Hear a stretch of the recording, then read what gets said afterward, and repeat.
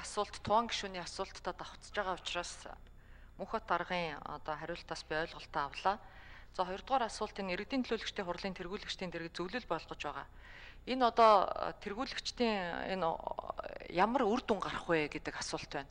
Өнөөдөр иргэдийг одоо чирэгдүүлдэг, санал наймаалцдаг, за мөн одоо хурлаа хийхгүй барьцаалдаг, хоошилдог, хуралдаж өгдөггүй хөдөө орон нутагт байгаа нэг гол асуудал байгаа. Тэгээ энэ зөвлөл байгуулагдсанараа зөвлөл болсноороо ямар үр дүн гарах юм бэ гэдэг ийм асуулт байна.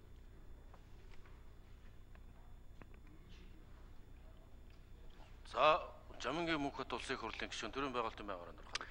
За энэ иргэдийн хурлын дэргэд зөвлөл байгуулж байгаа энэ асуудал бол бидний одоо 2 3 жилийн өмнө хийсэн ажлын үр дүн юм да.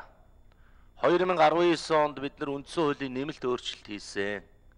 Энэ үндсэн хуулийн нэмэлт өөрчлөлтөөр иргэдийн бүх шатны иргэдийн хурлын төлөөлөгчдийн тэргүүлэгчд гэдэг юм бол байхгүй болсон. А хуучин бол иргэдийн хурлын тэргүүлэгчд гэдэг бол бүх асуудлыг авч хэлэлцдэг байсан.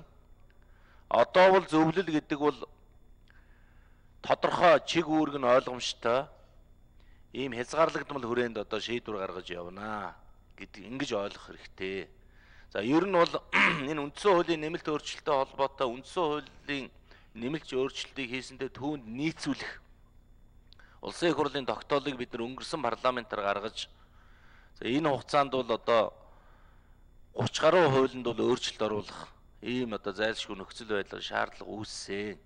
Энийний одоо үр дүнд бол ингэж одоо зөвлөл иргэдийн хурлын төлөөлөгчд иргэдийн хурл маань иргэдийн хурлын одоо тэргүүлэгчд байхгүй зөвлөлтөө болж одоо цаашдаа ажиллахаар болж байгаа гэдгийг хэлье.